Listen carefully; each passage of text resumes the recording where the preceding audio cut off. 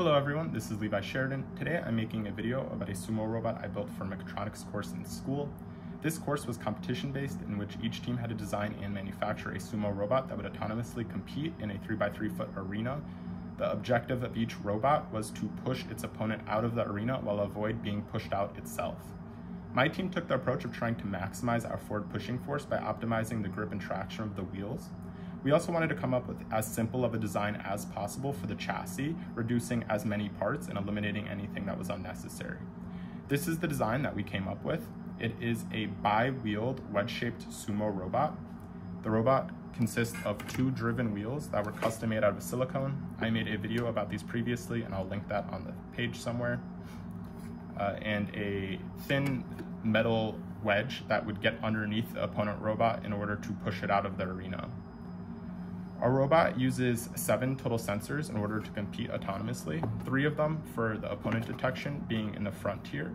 One of them is a LiDAR type sensor, time of flight sensor, that has a very narrow field of view to detect the robot in front of us. And then two peripheral uh, ultrasonic distance sensors to detect if the robot is to either side of the robot. On the bottom, we have four line detection IR sensors that were used to detect the edge of the arena. The arena was made up of a 3 by 3 foot neoprene mat that was black and the edges of it were defined by white tape. We were able to use these IR sensors to detect that tape and to avoid running off the edge of the arena. I will remove these three screws in the front uh, in order to open the chassis and I'll be able to talk a little bit more about the electronics inside as well as some more of the design. If I hinge the lid here, uh, where the uh, opponent detection sensors are mounted, you can see the inside of the robot. As mentioned, we wanted to come up with a super simple and robust design, uh, and I think we did a great job of doing that and only having really three main parts that consist the structure of the chassis. One being the main monocoque structure that houses the wheel wells, as well as all of the mounting points for the electronics and battery that I'll talk about later and then the, the hinge lid that consists of the sensor mounts and the cover for the rest of the robot. Finally, we have the wedge clamp that clamps on this thin 164 inch steel sheet uh, onto the chassis. Uh, and uh, now I can talk a little bit about the electronics on the inside. So the whole thing is controlled by an ATmega chip, uh, and then that is mounted onto a Perma Proto board that I hand soldered. This board has all the connections uh, for the different sensors, as well as a potentiometer to adjust the sensitivity of the edge detection sensors. We also have a drop a 5 volt uh, step down regulator in order to power the motor controller uh, that's mounted between the wheel wells uh, that powers both of the motors. We also have little cradles for the motors uh, that help support them and reduce some of the stress on the rest of the structure.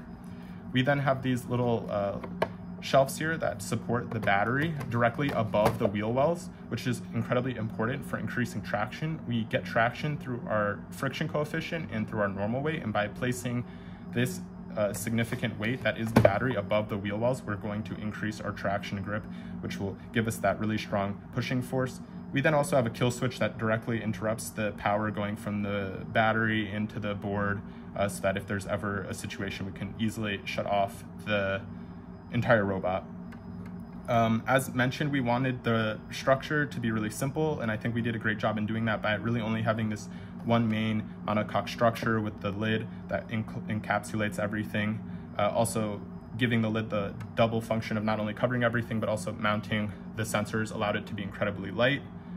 Um, as mentioned, I made and designed these uh, custom silicone wheels, and I will put that video somewhere on the screen uh, again uh, and those worked really well. I'll talk a little bit about some of the other prototyping I did to arrive at this.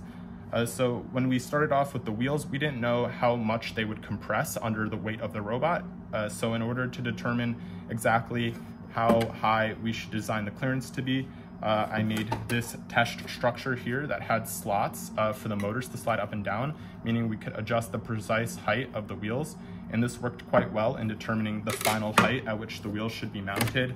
Uh, we have just enough ground clearance uh, that under the compression of the robot, uh, the robot rides at an appropriate height, and that worked really well in terms of prototyping for that. Uh, for the sensors, I started off with this a pretty simple mount uh, where the time of flight would go in the center and then we have the ultrasonics on the outside. And once this uh, worked well and all of the screw holes were at the correct dimensions and everything fit properly, I moved on to printing only half of the, the lid because it takes a long time and a lot of plastic to print this whole uh, lid. I only wanted to see if one of the ultrasonic distance sensors would fit and the time of flight sensor would fit uh, with this new modified uh, design here, uh, and that worked well, so I was able to move on to the final lid design. Uh, after designing that, I had also incorporated these weight reduction uh, sections here where the thickness of the lid is actually reduced in order to reduce some of the weight of the entire robot because in some of our earlier prototyping we were actually over the five pounds and we really had to fine tune it. Um, we were actually able to get the robot to be just under five pounds being 4.99 pounds which was quite impressive. In regards to the rest of the wheel well and the other sensing uh, sensor mounts, uh, I went through a couple other iterative prototypes, uh, this being the first in which I just wanted to see that the motor mounted effectively, that I could print these shelves in one piece without really needing supports, and that worked really well. Here you can see I fixed the height so there's no longer the slots for the motor. Uh, this was the first prototype of the wheel well, and again, I did this because I didn't want to have to print this entire chassis in order to just test this one part. Uh, by printing this, I saved a lot of time and material in order to determine whether or not everything was the correct dimension, everything fit well. After that, I wanted to test a little bit further, uh, so I incorporated one of the sensor mounts here for the line detection sensors uh, that would be mounted between this wall. I also had designed in this cable management channel here, but I ended up not liking it, so I removed it. Uh, and then I also incorporated some of the mounts for uh, the motor controller there in the bottom, as well as the Perma Proto board on top.